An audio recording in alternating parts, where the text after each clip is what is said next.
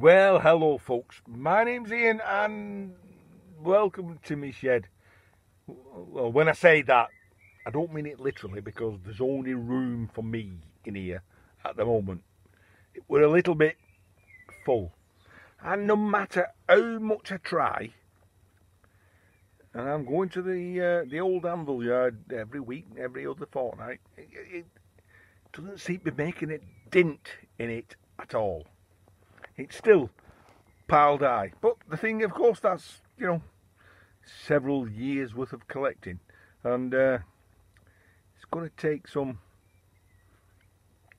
work, some effort to get rid of it. Anyway, that, that's the whole point. That pink thing there. So let's go over the, have a look at that. Woo. Right, so we've still got a little bit of a chicane to get through. We're getting there, we're getting there. Promise. Yeah, although you can't see it, I can. Because we've got some floor space here. And uh, deadly in pink. Uh,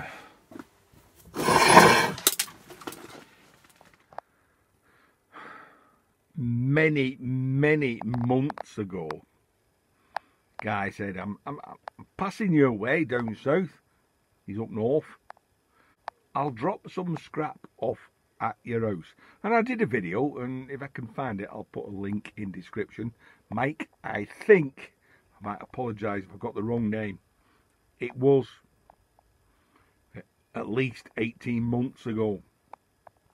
And he dropped everything off, including the kitchen sink. And he also dropped this little pink baby off. So yes, I've had it 18 months. I've always avoided doing it, putting it off. Now, because I'm in search for space, the final frontier, uh, as, as, Dan from K&D Scrapping would say, he's doing his smalls. Well, I've been concentrating on the smalls, and maybe I should be concentrating on the bigger stuff. Get rid of the bigger stuff, and leave the smalls till later. What? What worries me about this. They say Heatrae Sadia. Except it doesn't. It just says Heatrae. Yeah, you know, Snobby Scrap Picker did one of these a short while ago. Uh, Everyday Solace did two of these a short while ago. Got a fish looking copper tank out of them. And today, they're almost at the end of uh, the May, uh, UK Scrapper stripped a under sink hot water heater. Unfortunately, his was an iron tank. However, why does this worry me? I know I'm dragging this out a bit, but hey, it's YouTube. What do you expect? Okay, why am I so worried? Why have I had this forever and ever and ever? Simple. It's the age. I don't know how old it is. Let's have a look. Slot head screws.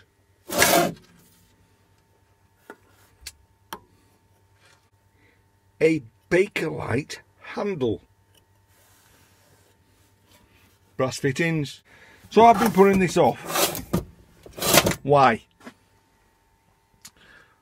Well, one rather simple answer asbestos. Uh, it's that says to me it's old. Now, the one that Everyday Solace did, the one that uh, Snobby Scrap Picker did, and UK Scrapper did, you opened it and they had a polystyrene lining. So the question stands, do you think She's deadly in pink. Well, let's stick you on a tripod, get the screws out, have a look inside. Well, my first problem's going to be is everything in its life uses a posi drive. And these are slotted. Well, fortunately, I've got a kit where it's put some uh, slotted screwdriver bits in. So there we go. And let's have a look inside of her. Why do I refer her as a her? Is that because she's pink? One screw out. And quality, quality, look at that. Quality. It's stainless steel screws. It's another indication of its age because these days you would just not get the expense of a stainless steel screw in its construction. I mean look at uh, UK Scrappers video uploaded yesterday or the day before. You know, it was all iron.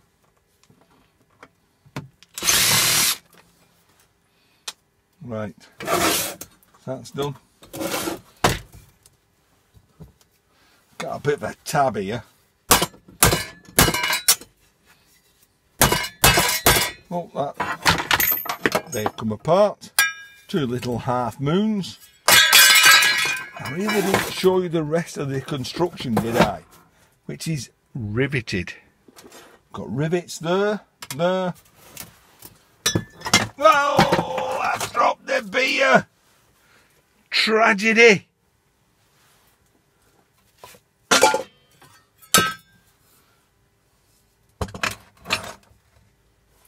Oh well, it's only beer. Uh, a quick look inside there. I can't see the insulation. So I've got to take this top off. Take the top off. I'm going to use, it's, it's riveted. I can either drill the rivets out, but I'm not that way inclined, am I? I'm more of a, you know, hammer and chisel type of guy. So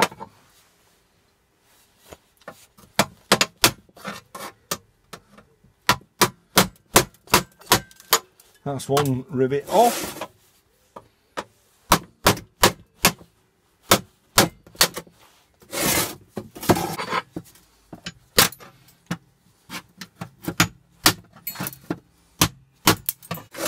In, how do I open this? Do I literally go at it hammer and tongs? Or use a little bit of common sense?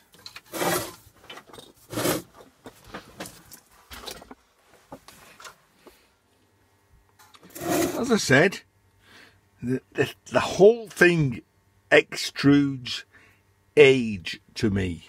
I mean, look, everything's slotted screws, bolted. You know, it just doesn't happen in modern construction. Uh, let's get it bashed open. Of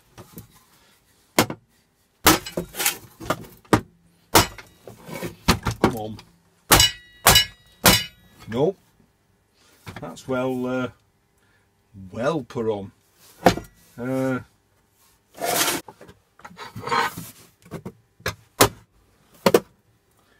right.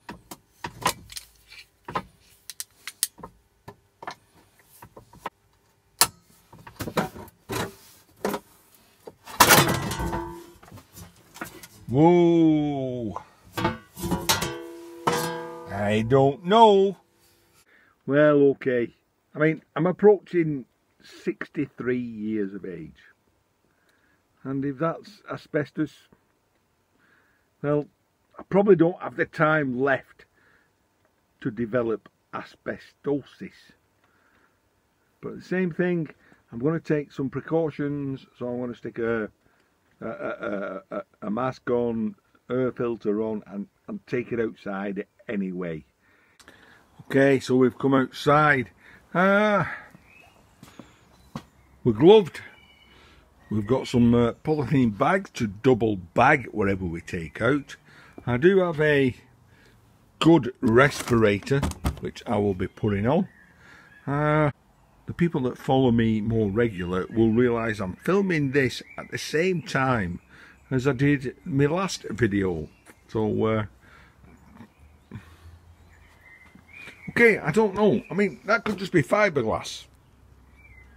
But equally, it could be asbestos. I don't know.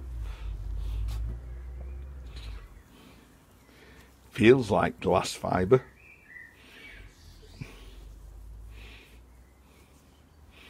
Uh, that disappointingly looks like a steel tank, but it cannot be. At that age, it just cannot be. Uh, let's take it apart first.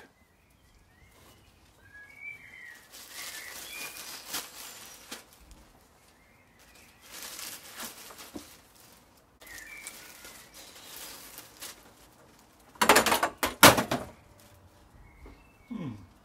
a little bit of this and that.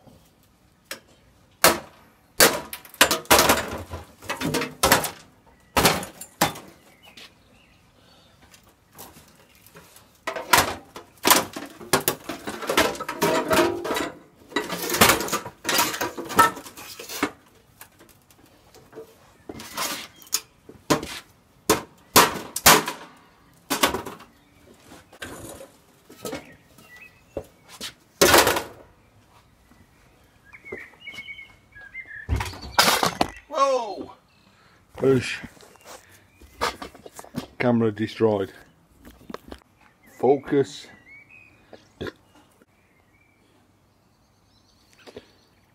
we've got it totally stripped. There's the top. The insulation's in that bag and then it's going to be double bagged. But what we want to know is, is it copper? Don't look like copper. So, uh, what do we know? Well, I thought I'd take the nuts off. Well, being a dense Englishman, dense old Englishman, straight away I went for a 13 milli spanner, which uh, didn't fit. I'm thinking, Ian, you're dense. You know it's old. It's gonna be Imperial. So straight away I went for a an half inch spanner. And what do you guess? It didn't fit. Hmm. I moved up to a 14 milli spanner. Ah, it, that weren't right. So it's time we called out the big guns. The big guns. My gods, these had spiders' webs on it. Yeah, big. I mean, Imperial. Why? Who uses Imperial anyway? Uh, an old 13 milli, so we go for. Come on, Ian, you've got strong thumb, whatever. Nine six nine sixteenths. A lovely fit. So uh, I'm going to whip them off. See where we're Well, at. I've got to be honest, it's the day after.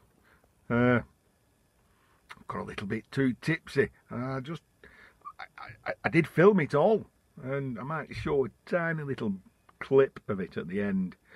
You know, my missus last night said to me, "Ah, "You had enough drink last night, didn't you?" I said, "Oh no." Well, it sounded like it when you was talking to your camera, so I re-listened to it this morning and thought, "Oh, I can't upload that." So carry on where we left off. Well, I know we'd finished this, we'd uh, put a grinder on it, proved that it was uh, copper, and the collar is iron. So, got to remove that collar. The easiest way of doing that is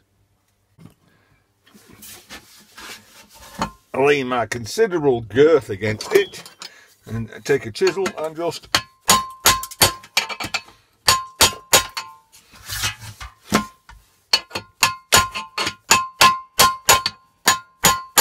chisel chisel it round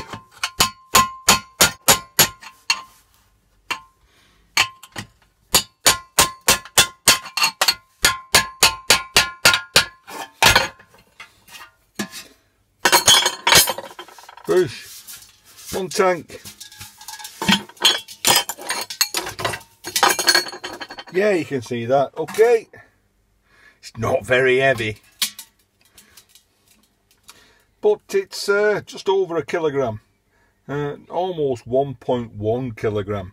So, two pounds in weight. Uh, that's still going to be what's copper fetching at the moment uh, for five pound fifty ish. So that that on itself is going to be worth ten English pounds.